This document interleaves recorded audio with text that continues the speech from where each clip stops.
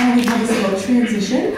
Um, this next piece I'm performing, I tried as a sophomore and wasn't technically ready to do it. And so I'm very happy to present it to you. And it's The Kaddish. Um, it's by Maurice Ravel, and he took the, the um, words of the prayer um, and set it to music. And I started doing research for this, and I was interested as to why is it called a mourner's Kaddish because it's said in services like every week for those who have lost someone close to them.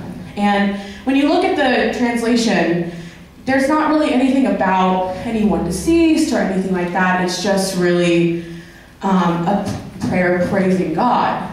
And so I've, this is one of the little things that I love about Judaism is that um, when someone passes on, it's up to the people they left behind to keep praying and to keep a, a healthy spiritual well-being so that their soul stays in a good place.